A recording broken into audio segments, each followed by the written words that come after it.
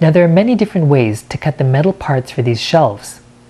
I'm going to show you three tools, a hacksaw, an angle grinder, and a cut-off saw.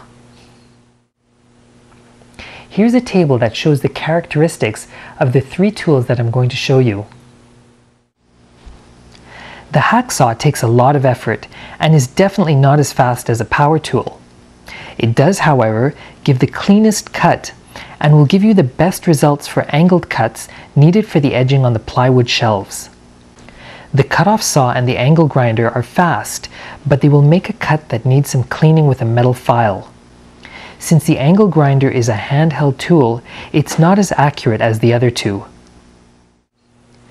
Considering the number of cuts that are required for the edging, which is 8 per shelf, you'll find that we need 32 cuts for the 4 shelves.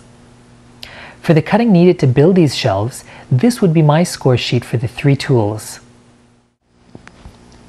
The hacksaw is the best choice for the metal edging, even though it takes a lot of effort. When it comes to threaded rods, however, the effort is a bit too much, and a power tool is a better choice. The angle grinder might be accurate enough for flat bar, but it's certainly not for perfect 45 degree cuts. The cut-off saw does a good enough job for both, but it's far more of an industrial tool and you'll need to use a metal file to clean up the rough cuts. Now that we've covered some of the general notes and techniques on the construction, it's time for us to start looking at the details in building each of the different types of shelves. Let's begin.